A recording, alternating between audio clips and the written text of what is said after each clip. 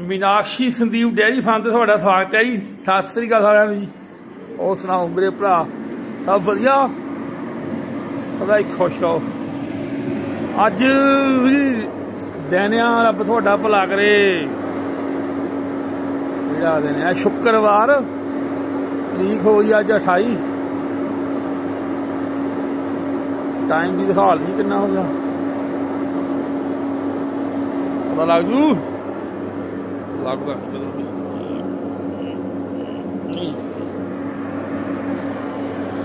ਪਤਾ ਲੱਗ ਜੂ 10 ਵੱਜ ਕੇ 49 ਮਿੰਟ ਪੀਐਮ ਪਨੀਰ ਬਣਾ ਰਹੇ ਸੀ ਲਓ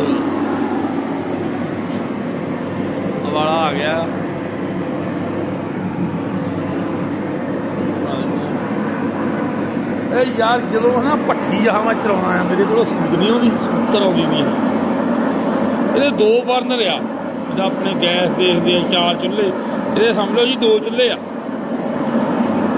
ਦੋ ਹੀ ਇਹਨੂੰ ਪੱਖੇ ਲੱਗੇ ਹੋ ਆ, ਇੱਕ ਲੱਗੀ ਵੱਡੀ ਮੋਟਰ, ਜਿਹੜਾ ਟੱਬ ਘੁੰਮਦਾ ਆ।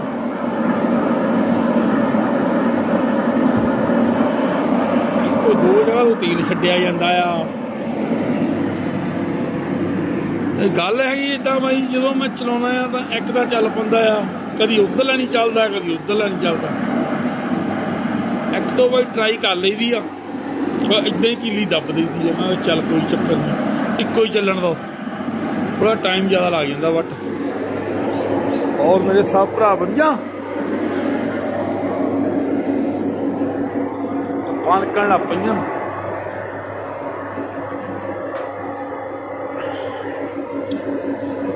ਸੁਣਾਓ ਲੈ ਬਈ 10 ਵੱਜ ਕੇ 50 ਮਿੰਟ ਹੋਇਆ ਜੀ। ਰਾਤ ਦੇ। ਪਨੀਰ 20 ਕਿਲੋ ਤਿਆਰ ਕਰਨਾ ਆਪਾਂ।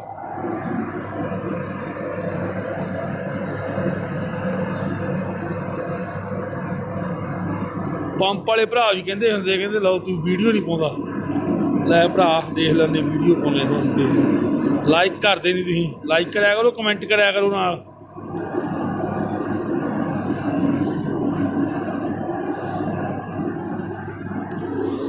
ਹੋਰ ਮੇਰੇ ਸਭ ਭਰਾ ਵਧੀਆ? ਲਈ ਖੁਸ਼ ਰਹੋ। ਲਓ ਜੀ। ਆ ਸਾਡੀ ਸ਼ਾਪ ਆ।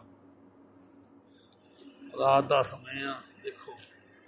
ਕੱਲਾ ਯਾਰ ਬੁਖੜਾ ਸੜਕ ਦੇ ਉੱਪਰ। ਉਹ ਚਲੋ, ਚੰਗਾ ਫੇ ਫੇਰ ਮਿਲਦੇ ਅਗਲੀ ਵੀਡੀਓ ਵਿੱਚ। Okay bye